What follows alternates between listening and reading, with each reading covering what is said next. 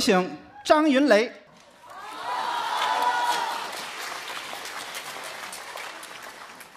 哎，张云雷今天给大家演唱的是铁片大鼓《高粱赶水》，伴奏是由胡子毅老师、张玉恒老师、石俊平老师、严平老师，还有罗学发老师，掌声有请。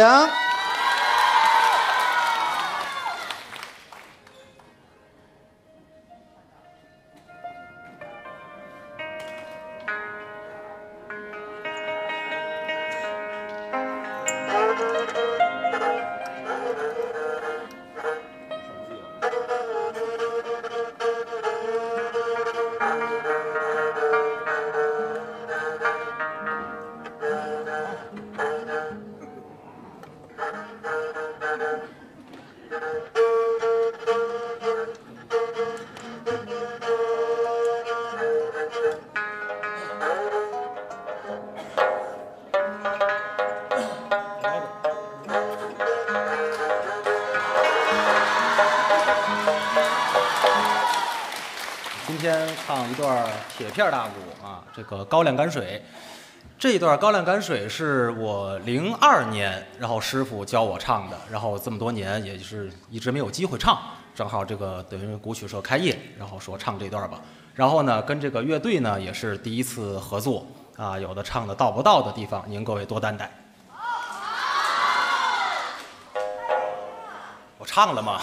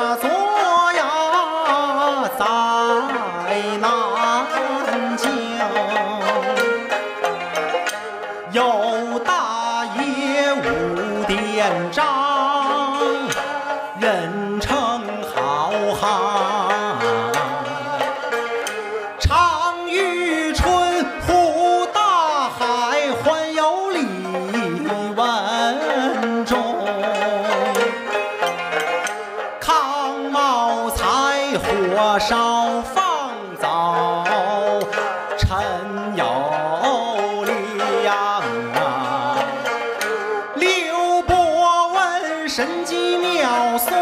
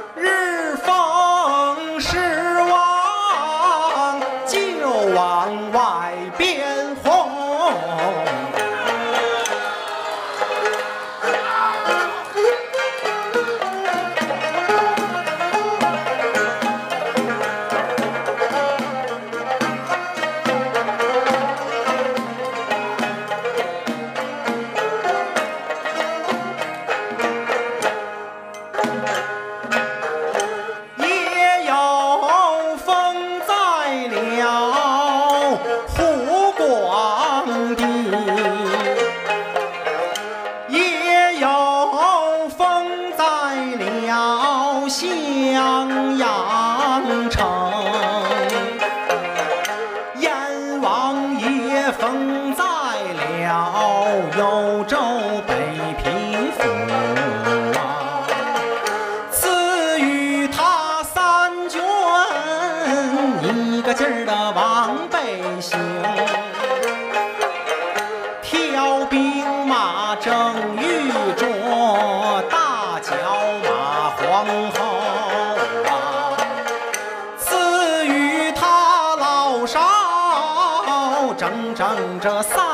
天兵，老弟又上不去这个能行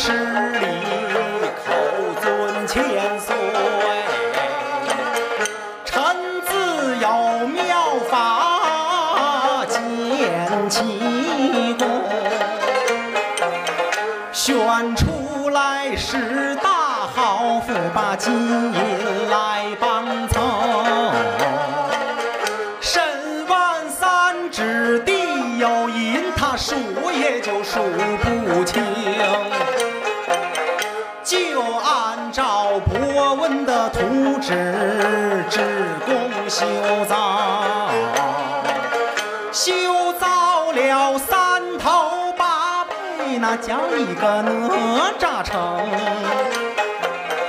内有九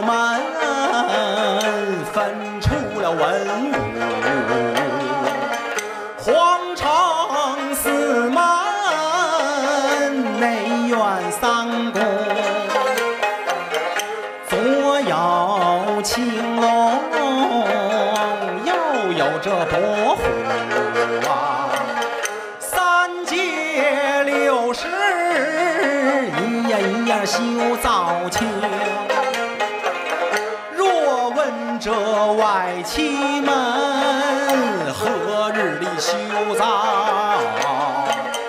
阎王爷吊孝二道奸令。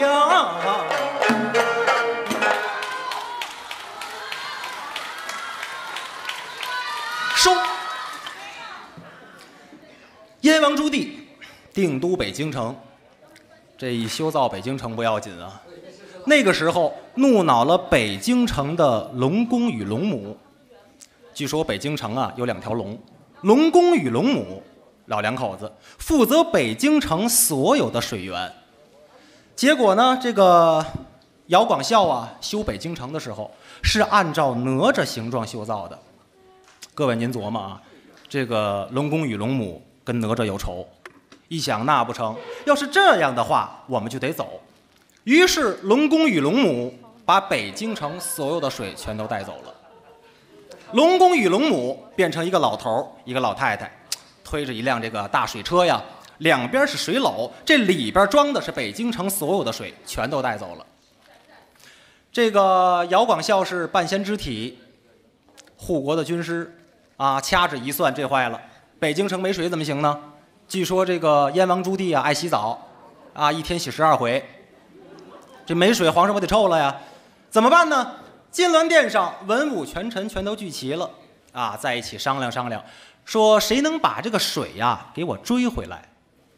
但是满朝文武都没有办法。哎，就在这个时候，来了一位小将军，叫高亮，跟皇上就说了，啊，说我能去，我能去把这个水追回来。啊，这个姚广孝非常高兴，说你能把水追回来，但是你可记住了，你追到水之后。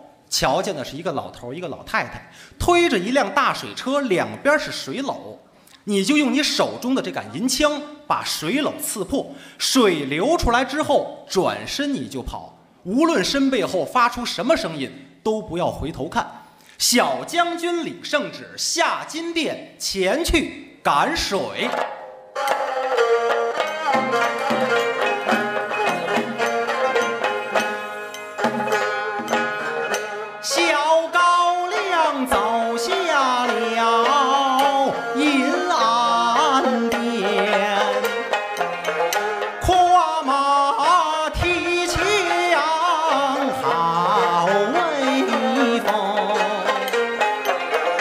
姚广孝大公十礼，口尊千岁。西直门城楼上，怎能看看英雄？燕王爷宝座之上，忙传口旨。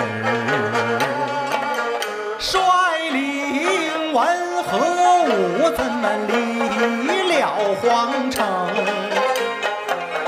边边打马呀来的好快，西直门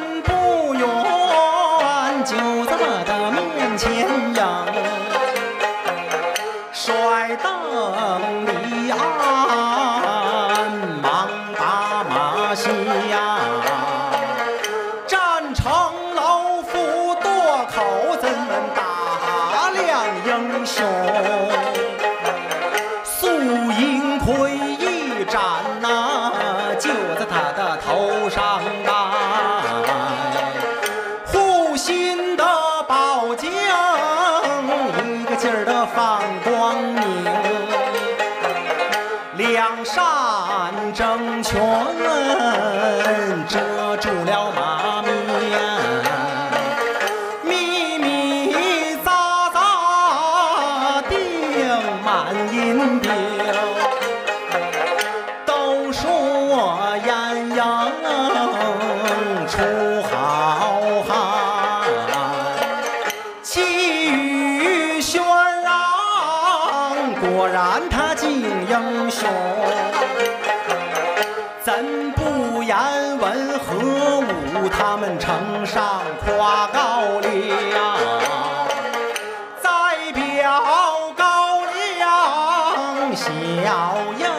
英雄，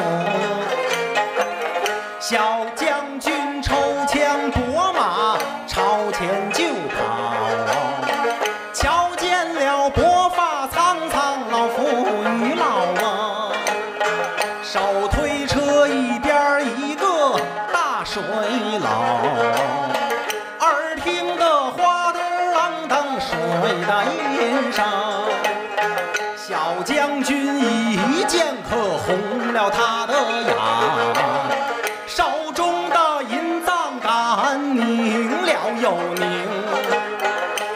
准这个水老用力刺去。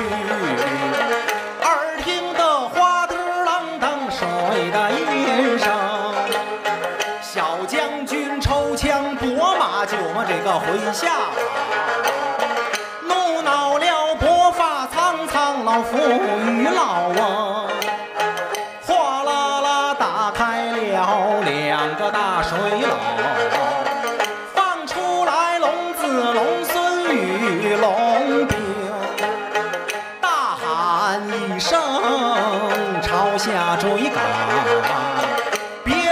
走干水的不跑小英雄。怎不言龙公龙母追赶高粱？再表高粱小英雄。西至这个门外，抬头观看。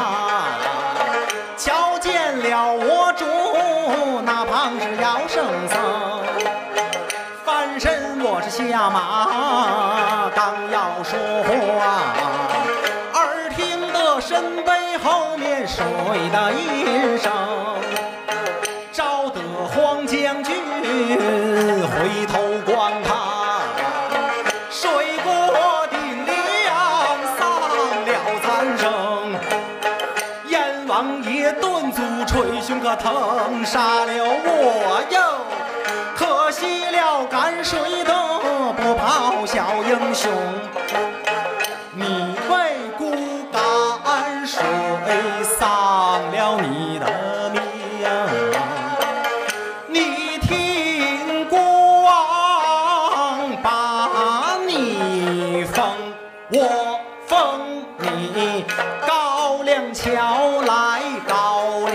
庙，高粱庙里诉你的神灵。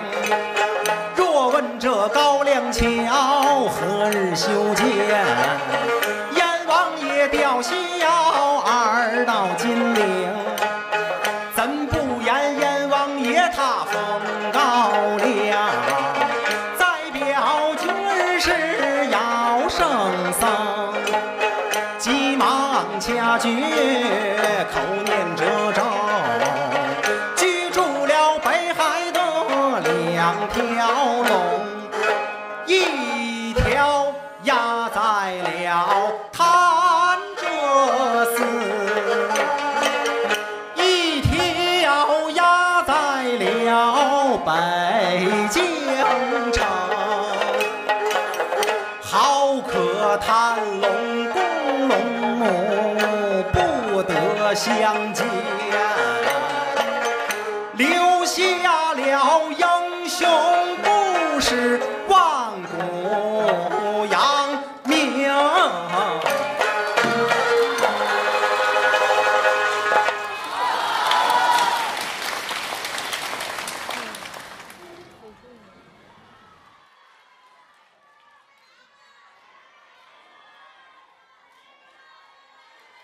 喝口水行吗？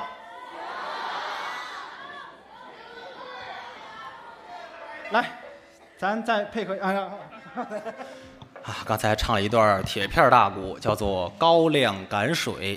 这个翻场给您唱了一段京韵大鼓。啊，刚才前面这个陶云胜跟这个谁呀、大啊郎浩辰啊大郎，一个唱的白派，一个唱的洛派。呃，我给您唱一段流派京韵大鼓《闹江州》的片段。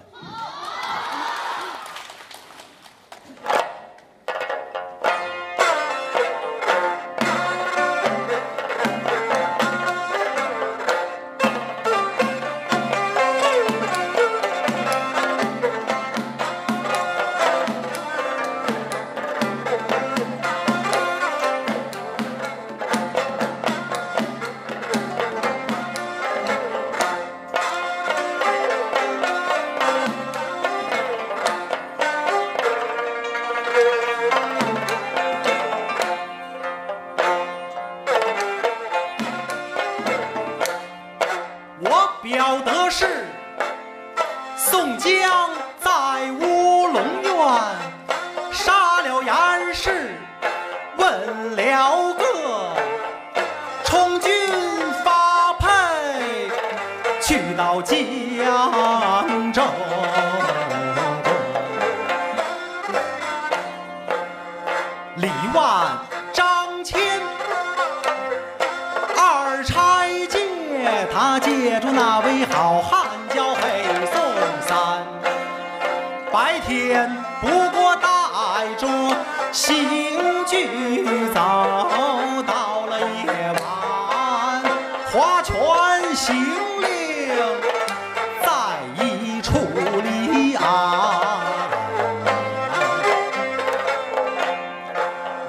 有心叫他们一里二里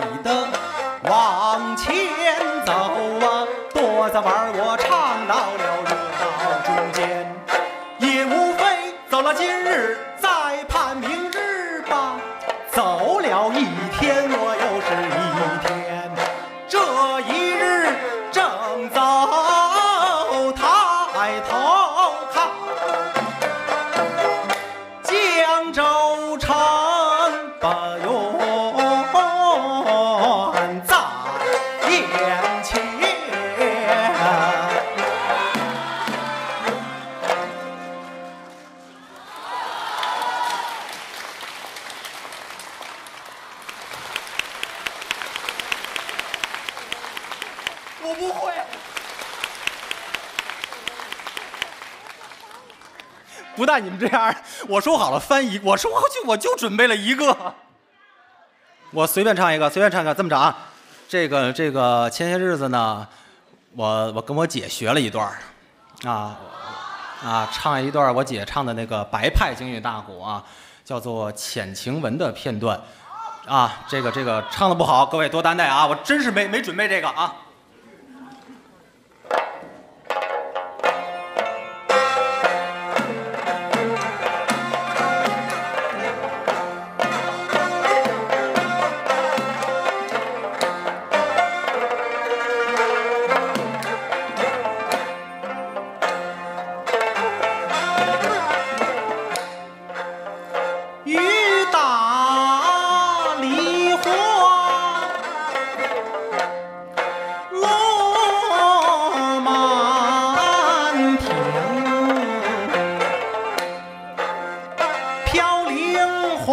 far.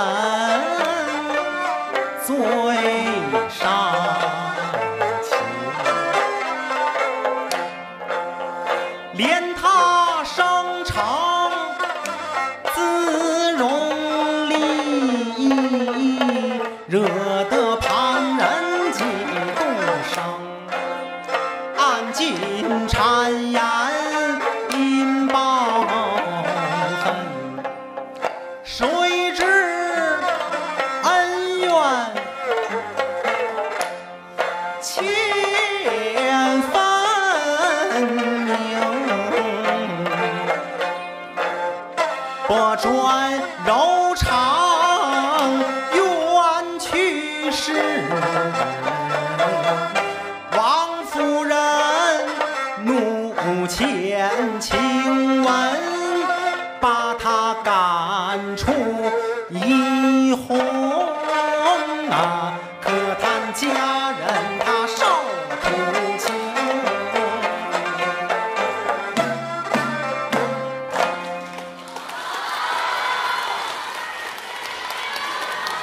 世界很酷。